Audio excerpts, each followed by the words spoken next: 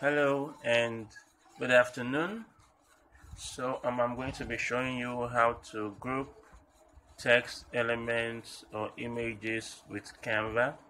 It's not that difficult and um, you can only do so via the um, web version. Okay, it's not possible with the mobile app for now. So um, let's say I want to group text okay so I'm going to increase this increase this a bit. Now let's see. I want to write and this is I. Okay. This is I. I'm going to take this to the middle. I'm going to duplicate this. Okay and um, let's see and this is am um okay I'm going to duplicate this again. And I'm going to replace the um oh wait um let's see caffeinized okay this is just um a short sentence. Okay. Now this is too big it's too big it's too big. Okay but we can fix this. We can fix this. Now um this is a sentence.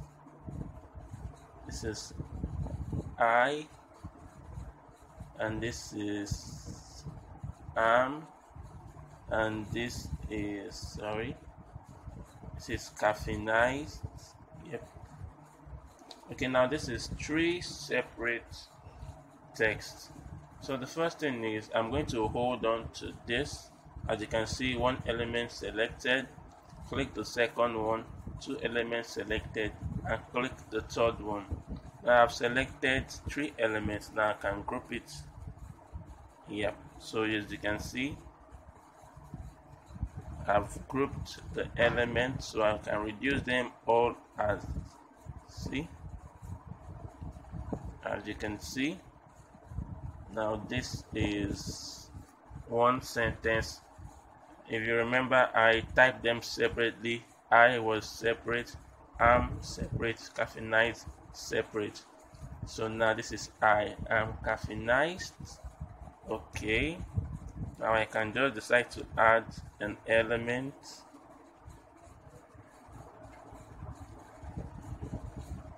Okay let's say I want to search for a love icon.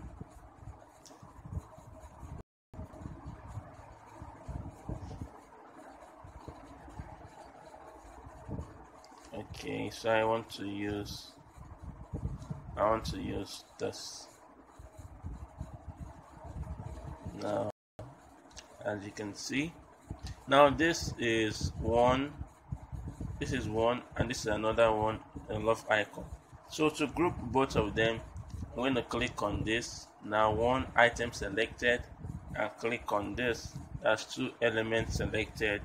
So um I'm just going to say done. So I can move it. I can move it. They are all one element. So that's just a simple way to do this. And I hope you've gotten it now. So okay if you have any questions you know you can always ask. I'm always at your service. So bye bye for now and take care